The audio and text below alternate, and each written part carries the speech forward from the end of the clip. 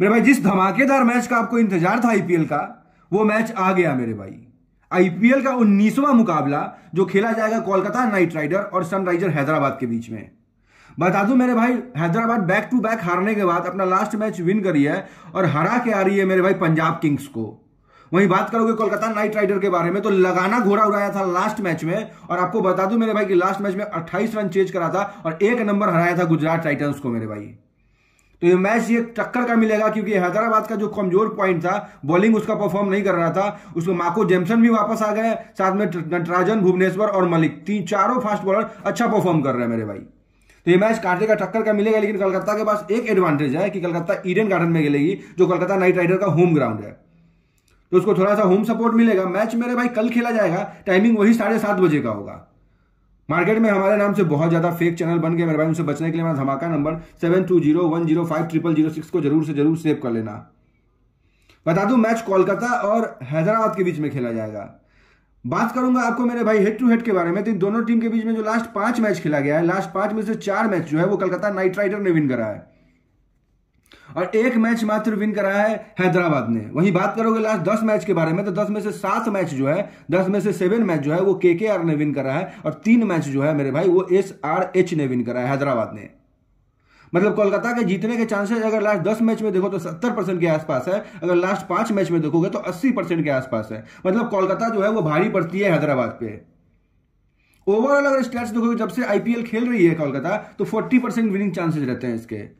हर दस में से मेरे भाई चार मैच विन करती है और छह मैच जो है वो लॉस करती है। ये फिगर थोड़ा सा बहुत खराब है क्योंकि कोलकाता का परफॉर्मेंस पिछले तीन चार साल से बहुत खराब हुआ है। कोलकाता का मेरे भाई सबसे बड़ा जो स्ट्रॉन्ग पॉइंट वीक पॉइंट है, मेरे भाई फास्ट बॉलिंग डिपार्टमेंट उसका बहुत ज़्यादा कमज़ोर है। पहले तो एक उमेश यादव है जिनसे विकेट नहीं निकल रहा है। सुरदुल ठाकुर 19 के इकोनॉमी से रन देते हैं। लोकी फर्गूसन ने लास्ट मैच में 10 के इकोनॉमी से रन दिया है और परफॉर्म नहीं कर रहा है मेरे भाई। और ओपनिंग इसका बहुत बड़ा इशू है। पहले मनदीप सिंह से ओपनिंग करा रहा था। दो मैच में वो फ्लॉप कर गया तो लास्ट मैच में जगदीशन से ओपनिंग कराया, वो भी मेरे भाई फ्लॉप कर गया। ओपनिंग में मेरे भाई एक रहमुल्ला गुरुबाज करके प्लेयर है, दो मैच में परफॉर्म किया था लास्ट मैच में वो भी फ्लॉप कर गया मेरे भाई। तो यही, और बाकी बता दू मेरे भाई, जो नीतीश राणा है, इनका कैप्टनसी बहुत एवरेज है। एवरेज कैप्टनसी कर रहे हैं। प्रेशर बहुत ज़्यादा ले रहे हैं, जिसकी वजह से दो मैच में फ्लॉप हुआ है। लास्ट मैच में अड़तीस की उनचालीस के आसपास रन बनाया था। बाकी इनका कैप्टनसी काफ़ी एवरेज है। टीम का स्पिन डिपार्टमेंट बहुत ज़्यादा स्ट्रॉन्ग है और फॉर्म में भी खाली लास्ट मैच में अच्छा नहीं कर पाया था। उसके पहले सारे मैचेज में मेरे भाई वरुण चक्रवर्ती हो गए, सुनील नारायण हो गए और एक सूर्याज शर्मा करके प्लेयर आया है। ये तीनों स्पिनर अच्छा फॉर्म में मेरे भाई। टीम अगर पहले बैटिंग करते हुए 180 प्लस का टारगेट रख देती है तो अच्छा डिफेंड करा देती है। डिफेंड के लिए बहुत अच्छा टीम है। लेकिन वही अगर चेज करने पे आती है मेरे भाई तो इसका बैटिंग लाइनअप जो है, वो जल्दी कोलैप्स कर जाता है। इस टीम का सबसे वीक पॉइंट है आंद्रे रसल, जो कि खेल रहे हैं, ना बैटिंग कर रहे हैं, ना बॉलिंग कर रहे हैं। हो सकता है कि आंद्रे रसल की जगह पे इस मैच में लिटोन दास को खिलाया जा सकता है, जो कि वापसी कर गए हैं। लेकिन वही बात करोगे हैदराबाद के बारे में तो हैदराबाद जो है, पूरे आईपीएल की सबसे फ्लॉप टीम अभी तक रह चुकी है। पिछले तीन साल में मात्र ट्वेंटी परसेंट मैच विन करती है, हर दस में से दो मैच विन करती है मेरे भाई, और आठ मैच लॉस करती है। बात करूँगा मेरे भाई तो इस टीम का तीन मैच खेला है और तीनों में तीनों मैच में इसके मयंक अग्रवाल एक ओपनर है, अभिषेक शर्मा एक ओपनर है, बाकी जितने भी ओपनर है, सारे ओपनर मेरे भाई फ्लॉप हुए हैं। इस टीम में मात्र दो प्लेयर बैटिंग में फॉर्म में है, एक राहुल तेवतिया करके प्लेयर है और एक एडम मकरम साउथ अफ्रीका के जो कैप्टन भी है अभी, वो है मेरे भाई, यही दो प्लेयर फॉर्म में उसके अलावा बैटिंग में इसका सारा प्लेयर फ्लॉप चल रहा है। एक खलासन करके बैट्समैन आए हैं, वो भी खेलेंगे लास्ट मैच में इनका बैटिंग नहीं आया था, उनका भी फॉर्म ठीक ठाक है मेरे भाई। बाकी टीम में कोई अच्छा फिनिशर नहीं है। अबुल समाद भी है तो मेरे भाई चलते चलते नहीं चलते हैं। टीम का स्पिन डिपार्टमेंट पूरा का पूरा सुंदर पे टिका हुआ है और सुंदर के अलावा, वाशिंगटन सुंदर के अलावा इस टीम के पास कोई स्पिनर नहीं है। टीम के पास क्वालिटी फास्ट बॉलर है, जो अच्छा परफॉर्म किया है लास्ट मैच में मेरे भाई। दो मैच में वो भी फ्लॉप रहा था, एक मैच में परफॉर्मेंस किया है। वो बॉलिंग लिस्ट में मेरे भाई टी नटराजन का नाम है, उसके बाद उमरान मलिक का नाम है मेरे भाई, माको जेमसन का नाम है और भुवनेश्वर कुमार का नाम। ये चारों मेरे भाई ब्रांडेड फास्ट बॉलर है।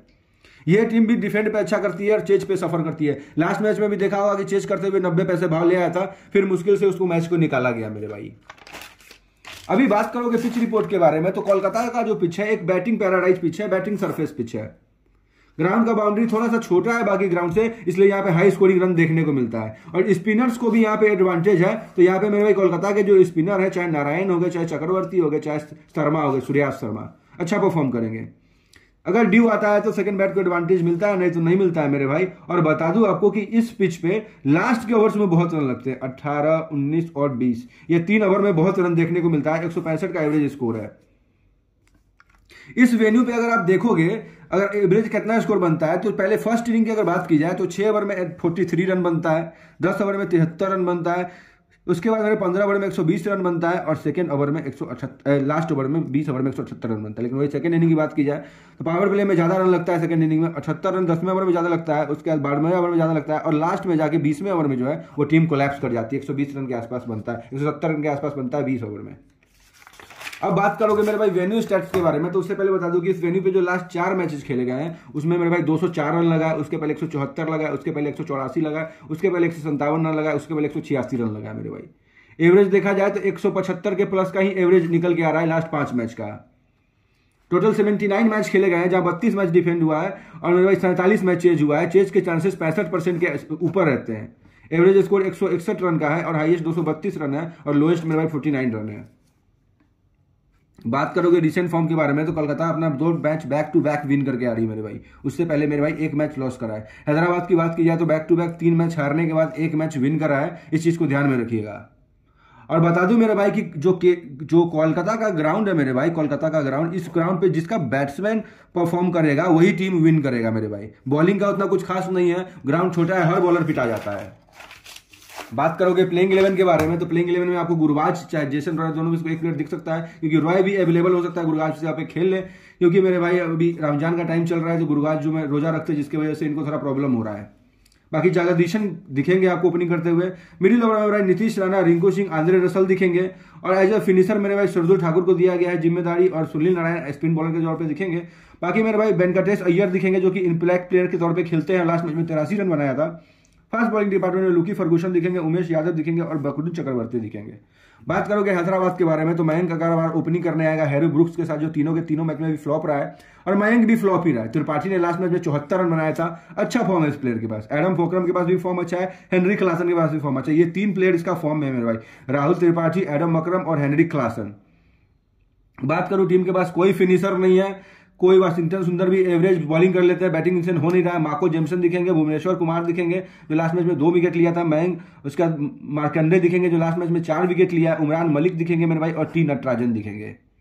ये टीम रहेगी मेरे भाई, हैदराबाद का एक जो वीक पॉइंट निकल के आ रहा है, इसका ओपनर और बाकी मेरे भाई के आई का वीक पॉइंट इसका भी जो है ओपनर ही एक वीक पॉइंट है मेरे भाई। ओपनिंग परफॉर्म नहीं कर रहा है, और फिनिशर दोनों की टीम के पास राम भरोसे ही है।